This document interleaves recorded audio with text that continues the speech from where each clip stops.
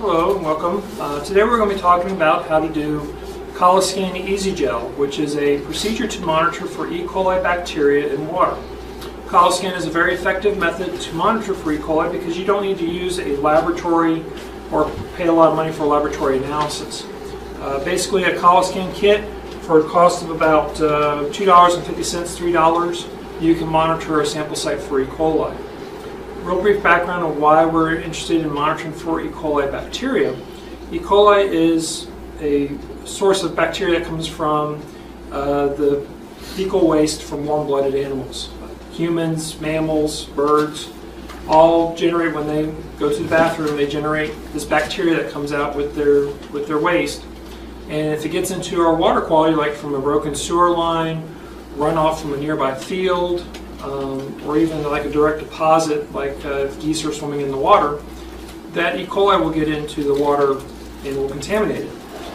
Now, the E. coli that we're monitoring for is not really the E. coli that you hear about in the news all the time about contaminated spinach or contaminated peanut butter.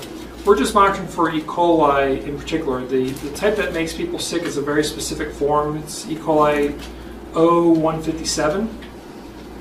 Uh, but we're not really monitoring for that specifically.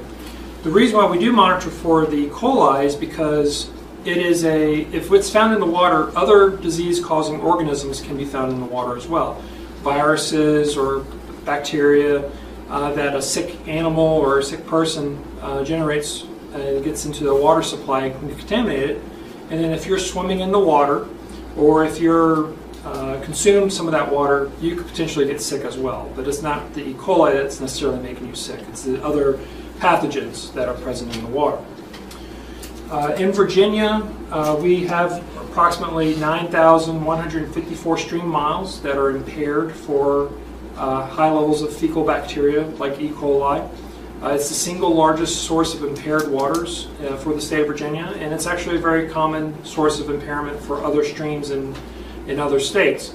So monitoring for E. coli uh, as a volunteer is very useful information not only to our agency at the Department of Environmental Quality, but also for uh, other government organizations like your local government because this monitoring could identify, for example, broken sewer lines if you're monitoring near a sewer main.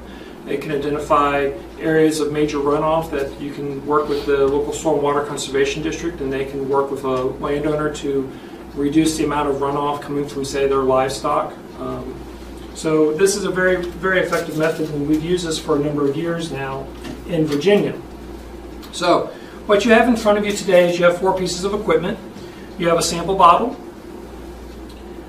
pipette, a petri dish that comes with the kit, and also a bottle of the Coliscan media. And we're going to be using these four pieces of equipment to collect our samples real briefly, uh, talk about uh, collecting a sample and water safety. Uh, when you're collecting a water sample, um, it's always a good idea to have either hand sanitizer or gloves with you because you never know what's in the water. Um, you could be sampling just below a sewer line break, for example, and if you sample and you don't wash your hands and, or have your hands protected, and you don't wash your hands afterwards and you eat something, you could potentially get sick. So it's always a good idea to wash your hands or, or disinfect your hands once you collect your sample.